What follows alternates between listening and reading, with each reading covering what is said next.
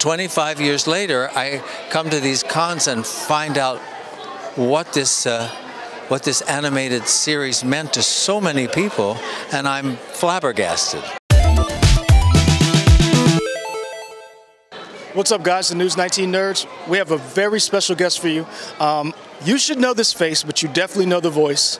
Mr. Glover. How you doing today, man? I'm good. I'm good. One of the coolest things about you is you've been doing this for a lot of years, and you have a lot of iconic roles. What's the one that stands out to you?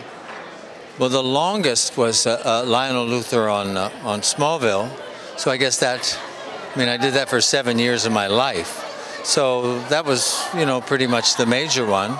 The others were, you know, shorter commitments, so they don't. I don't have a memory of some of them, so. One of the coolest things is you've always had long hair. Is that your hair? Yes, I don't wear wigs. When, when you did um when you did Shazam, one of the things I noticed about it was you were very intense for that short period of time on camera. Is that something you bring normally, or was it just comes out? How does how does that happen when you in the beginning of the movie you were just? Ugh. Well, you know, I only was was given those two scenes that I was in to, so I had no idea really who I was with relationship to other people in the in the film, or where I was going to be in the in the story. So I just tried to give the director what he wanted, and which was a, a high intensity uh, hatred. I call it. I call my role the father from hell. I mean, it's one of the worst fathers I've ever seen, and I portrayed him. I mean, it's a horrid father, but that's what the director wanted, so I tried to give it to him. I'm not trying to be rude, but you were a very good bad dad. Thank you. That means a lot to me. Thank you. One of the coolest things I think a lot of people realize is you're the Riddler from Batman: The Animated Adventures. Right. Did you realize that this character was kind of going to be the that's the test of time that no, people. No, not at all. This uh, they they recorded this uh, this series. Um, about a couple of blocks from where I lived. So I got offered. I didn't go audition for it. I had done a, a, a couple of uh, Animaniacs and Pinky and the Brain voice things for Andrea Romano, who directed the uh, uh, uh, Batman animated series. She called me and said, "Would you do the Riddler?" So I walked over, um, was given the script had two hours of fun with a bunch of great actors, went home. They asked me twice more to do them. I, I never watched. It was a Saturday cartoon. I was I, I was a grown up. I didn't watch Saturday cartoons.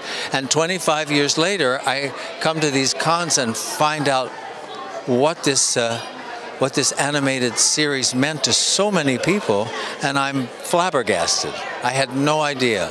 I feel honored to be a part of it. I'm not really a voice actor. I mean, I I use all of me. So I'm not skilled like a real voice actor is. I, it was like potluck, I guess. I would disagree on the skill part because you did a very good job, and it was so it was so interesting when I realized that you were the Riddler, and I was like, wait a minute, I know that guy, and then you're on Smallville. Right. Two like these are two roles that people when they they see you, they know you. What was it like to be on Smallville? Well, it was terrific. I mean, it was a great part, and the and the writers were kind of following impulses that I felt, trying to make uh, um, Lionel a real human being instead of just a villainous father. I mean, there are several people who, who would stop me on the street and ask me the same question when we get later into the series. They said, well, I can't figure this out. Are you supposed to be a good guy or a bad guy? Because I was. You were both. Yeah. Well, I was human. You know? That's that's a good way to look at it. I didn't Yeah. think about that. Well, that's how I tried to see it. Now, it's funny you mentioned that. Are you a good guy or a bad guy? Right. You're in a new show. It's called Evil. Yeah. Are you a good guy or a bad guy? I'm a man who's in trouble, who's who's had some troubles, and and this this series I think is going to be really something. You know, it's, it's done by the uh, it's called Evil. It's done by the people that did The Good Wife and then The Good Fight, the Kings, who are who are legendary, you know, wonderful writers, great producers. Uh, so I worked for them. I did four episodes of The Good Wife and one of The Good Fight. So they offered me this role of a of a kind of a harried Broadway producer who who may have been seduced by the devil. It's about exorcism. I mean, we- we're getting spiritual now. They've gone from a courtroom trial to this. I mean, I can't wait to see it. I'm in episode three, and just by chance, I mean, I, I saw somebody had an evil button on, which is why I found your CBS station. So, I mean, I shoot. Uh, my, the, my pickup tomorrow is at 6 a.m. in New York, so I got to get home. That's awesome. I don't get back till midnight, Wow. but but I finished the the episode that I did tomorrow morning. Okay, that's Yeah, yeah. cool. So, what was it like when you got the call that you were going to be in this show? Were you like, I need to read up on evil, or I need to like, what was like? How do you approach these kind of roles? Well, first I read. Well, first I thought, oh, it's the Kings, so that means it's going to be good. Um, I read the script. It was a very kind of uh, a really interesting role, very challenging, and I wanted to conquer it. So I went, yes, okay, I'll do that, because I like to work. And then I came here to South Carolina on Friday. Um, I don't know. I'm, you know, I'm of a certain age where most of the people I grew up with have retired now, so I'm still going strong. I just had a, a major a birthday uh, last uh, on Wednesday. really? Happy yeah. birthday! Thank you. Thank One you very much. One of the things I've noticed is like whenever you come on screen, you bring this presence. It's almost like this energy.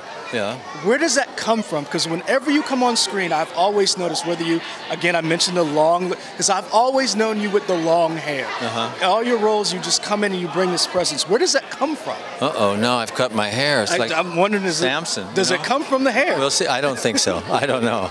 I can't be sure. I have no idea.